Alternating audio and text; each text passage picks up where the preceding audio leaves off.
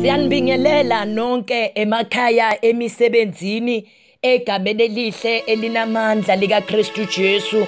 Siyambonga kakhulu uNkulunkulu, sibonga ithuba sipha lona, sibonga isikhathi asinikeza sona. Sibonga nokuhlanganyela bayingcwele siku power our prayer yisikhathi esinamandla yilapho sisho khona. Sithi inkosi thina siyathanda ukuba semthandazweni. Sihlale ebukhoneni bakho.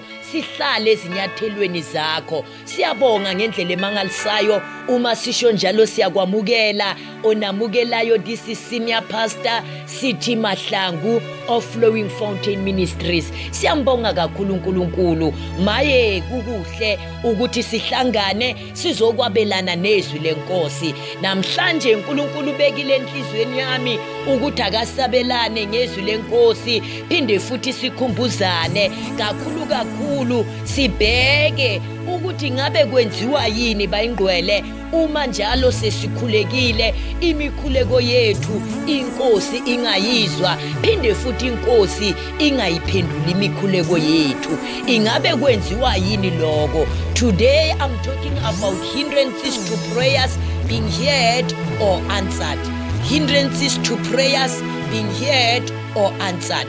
Siyadinga ukuthi sizwe namhlanje ukuthi lona izwi lenkosi lithini. Yingani imikhuleko yethu? Sesikhulekile. Inkosi ingayiphenduli iphinde futhi inkosi ingayizwa. uNkulunkulu anibusise. Ngiyathanda nje ukuthi ngiveze kuqala ukuthi asonaka indlela esikhuleka ngayo. Uma sikhuleka sangakhuleki ngendlela enhle. Yebazalwane uNkulunkulu angeke asizwe. That is point number 1 our wrong motives. Indlela embi esikhuleka ngayo. Iyakwenza lokho ukuthi iphazamise imikhuleko yethu. Inkosi ingayizwa inkosi ingayiphenduli funda nami izwi lenkosi kuJames chapter 4 verse 3 lithi izwi lenkosi niyaqela nokho anamukeliswa ngokuba nicela kabi ukuze nikucithele ezinkanukweni zwenu ungayizwa ke bazalwane le ndaba lithi izwi lenkosi yebo niyacela kodwa nicela kwabi. Uma sicela kabi uma singaqeli kahle yebazalwane uNkulunkulu akakwazi ukuzwa aphinde futhi ayiphendule imithandazo yethu. Because we ask with wrong motives. uNkulunkulu anibusise. Asoqaphela ke njalo uma sikhuleka siqaphele sikhuleke kahle uNkulunkulu anibusise. Singayiphakamisi singakhuleki sithi inkosi siphe lokhu ngoba ngifuna ukuthi ngikhomba abanye ngoba ngifuna ukuthi bazalwane bese mhlambe kudunyiswa mina bese mhlambe kuphakanyiswa mina. Kodwa uma njalo ngicela uma ngiqela bayingcwele angicele kahle ngendlela enhle ukuze konke uma sikwenza inkosi sivuze inkosi iphakame futhi kube ngamandla nobukhulu benkosi kungazophakama thina. uNkulunkulu anibusise. Siyaqhubeka ke bayingcwele. uNkulunkulu uthi angiveze futhi ukuthi yini okunye okungenza ukuthi uma sikhuleka bazalwane. uNkulunkulu angayizwa imikhuleko yethu phinde futhi angayiphenduli. Number 2 uNkulunkulu anenze kahle. We ask while making a practice of sin. Siyakhuleka kodwa ngapha senza kabi kube kunezinto ezimbi kunezono esizenzayo. uNkulunkulu angayithandi uNkulunkulu anibusise. Uma ufunda izwi lenkosi Psalms chapter 66 verse 18 lithi izwi lenkosi ngakhala kuye ngomlomo wami ukudumisa kwakuphansi kolwimi lwami. Verse 18 uma bengiqonde ukubi enhlizweni yami ibingayikungizwa inkosi. uNkulunkulu anibusise. Haleluya malibonga igama lenkosi.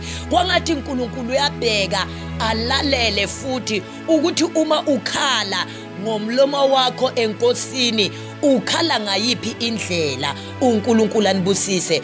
Uma ukhala ungenzi kahle. Lithi izwi lenkosi ibingayikungizwa inkosi. Ingakho lithi izwi lenkosi kuIsaya 59 verse 1 uma ufunda uverse 2 lithi izwi lenkosi isandla sikaJehova asifinyeziwe ukusindisa. Nendlebe yakhe ayinzima ukuba izwe kodwa ububi bethu busahlukanisile nokuso benkosi ukuba inkosi ingasizwa. Uma senza kabi uma siqhubeka sikhuleka senza izono singaphili kahle ubuso benkosi bayingcwele angeke bukwazi ukuthi bubheke ngakithi uNkulunkulu anibusise. Ngakho asoqaphela njalo ukuthi uma sikhuleka uma senza bazalwane esikwenzayo senze kahle ukuze imikhuleko yethu ingaphazanyiswa ingavinjwa. uNkulunkulu ayizwe aphinde futhi ayiphendule. Inkosi yomsa inibusise. Siyaqhubeka ke kuningi singakuveza kodwa siyaveza nje lokuya nalokuya. uNkulunkulu uthi angiveze futhi ngendaba yokungathetheleli the unforgiveness. Bayingcwele kubi ukungathetheleli. Uma singathetheleli njalo nje uma sikhuleka uNkulunkulu akajabuli. uNkulunkulu kungakwenza ukuthi imithandazo yethu ingaziwa inkosi phinde futhi inkosi ingayiphenduli. Funda nami izwi lenkosi Matthew chapter 6 verse 15 lithi izwi lenkosi kepha uma nithethelela abantu iziphambeko zabo noyihlo wasezulwini uyakunithethelela iziphambeko zenu. uNkulunkulu anibusise. Uma ufunda izwi lenkosi kuMatthew chapter 5 verse 23 to 25 lithi izwi lenkosi ngakho ke nxa uletha umnikelo wakho ealtari ukhumbule lapho ukuthi umfowenu unamagqubu nawe. Shiya lapho umnikelo wakho phambi kwealtari uhambe kuqala ubuyisane nomfowenu andukuba uze unikele umnikelo wakho. Bayingcwele uNkulunkulu akayithandi indaba yokungathetheleli indaba yokungaxoleli. Uthi uNkulunkulu uma sithethelela abantu iziphambeko zabo noyihlo uNkulunkulu wasezulwini uyakusithethelela iziphambeko zethu. Aphinde futhi uNkulunkulu athi uma ngabe wonene nomfowenu lapho uzonikela awoshiya kuqala umnikelo wakho ealtari ubuyele emuva uhambe uyobuyisana nomfowenu.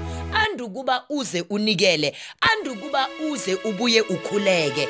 uNkulunkulu anibusise kumthandazo wami namhlanje ukuthi uNkulunkulu asisize egameni lika Kristu Jesu.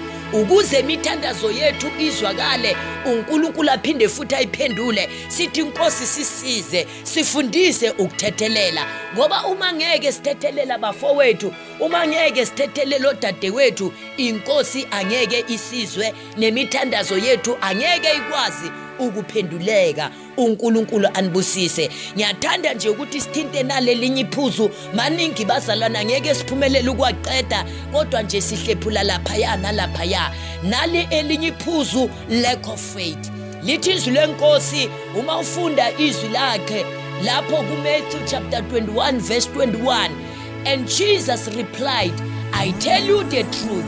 If you have faith and do not doubt not only can you do what done to the fig tree but also you can say to this mountain go throw yourself into the sea and it will be done. If you believe you will receive whatever you ask for in prayers. uNkulunkulu anibusise. Lisho njalo izwi lenkosi. Uthi uJesu uma nikholwa uma ninokukholwa akusiwo lo mhlaba lesihlahla somkhiwane kupheleni ngakhuluma kiso saqalekiswa sangakwazi ukuveza izithelo kodwa seningasho nakule ntaba nathi intaba ginqika uwele ngale uNkulunkulu anibusise. Uma sikholwa nje kwaphela ngoba bazalwane kubalulekile ukuthi sikholwe kubalulekile ukuthi sibe nokukholwa emva kokuthi sesithandazile. Funda nami izwi lenkosi sesiyokhuleka. Lithi izwi lenkosi kuMark chapter 2 verse 3 to 5 beza kuye bethwele umuntu ofe uhlangothi ephethwe ngabantu abane. Bangena kusondela basondela kuye ngenxa yesixuku babengena kusondela kuye ngenxa yesiquku baqaqa uphahla lapho ekhona. Bathi sebekhom bathi sebebhobozile behlisa uhlaka alelokulo ofe uhlangothi. uJesu ebona ukukholwa kwabo wathi kofe uhlangothi ndodana uthethelelwe izono zakho uNkulunkulu anibusise lithi izwi lenkosi uma bafika kuye baphethe owesilisa ogulayo babengena kwazi ukungena ngoba kwakugcwele kakhulu isixuku lithi izwi lenkosi baqaqa uphahla phezukwendlu babhoboza behlisa uhlaka lalo ogulayo. Lithi izwi lenkosi uJesu ebona ukukholwa kwabo wathi kofe uhlangothi indodana uthethelelwe. Ngoba abazalwane inkinga enkulu kwakungasukuthi bamfikise kuJesu.